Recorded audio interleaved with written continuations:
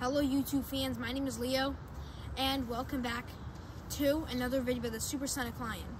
In this video, we will be talking about the incredible story of the woman who, who survived a, a fall from a plane and spent 11 days surviving in the Amazon rainforest.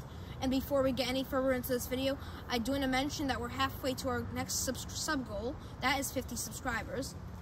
So, help me get to this goal by hitting that subscribe button and also, if you enjoy the video, please remember to leave a like and a comment. But now for today's video. So, it was October 10th, 1954, when a girl who would become famous was born, and her name was Ju Juliane Kepko. And what happened? And she was born to two parents, Hans and Maria. It started out usual, and it was 19, and it was the end of 1971 when she was going to visit her father um, out of Lima, Lima, Peru, and she was helping in the Amazon rainforest with her parents who were working in the, mu in the museum, and she was homeschooling.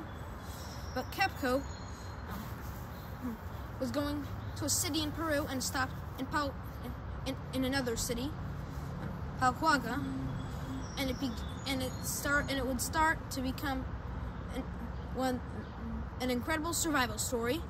It started out as a normal flight for the um, for the first half of the 304 minutes, um, or three hours and 24 minutes um, of the flight to the city.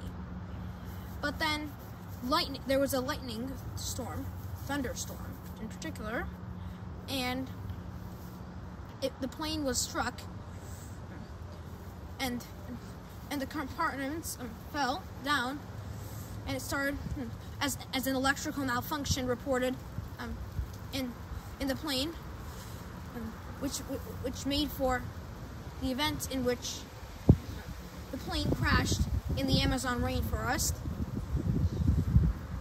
There and there and Kepko was one survivor. She fell down a height of 9,843 feet, which is more than seven times as tall as the Empire State Building. Um, she survived. Her mother, Maria, was also found to have survived, but however, um, had died um, as, as of the injuries three days later. This occurred on December 24th, 1971.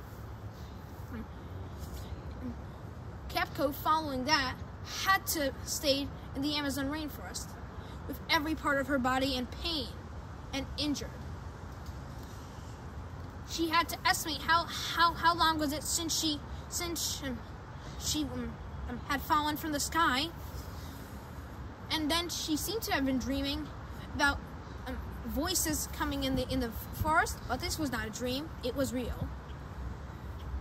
It was January 12 1972 um, when two fishermen found um, them and later they were, and Kepko was helping a search party find the, the crash site and the dead bodies, um, which were found from, from the people.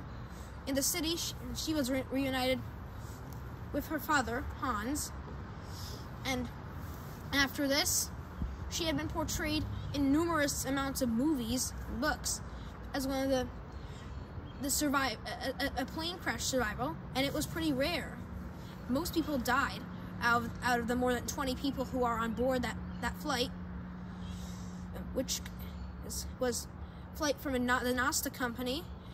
And her mom wanted to board it, but her father didn't. And they anyway boarded it, which made up for, for the situation. So this is all we have about, about the story um, for today. Bye. Thanks for watching. See you next time. Remember to comment, like, and subscribe for more.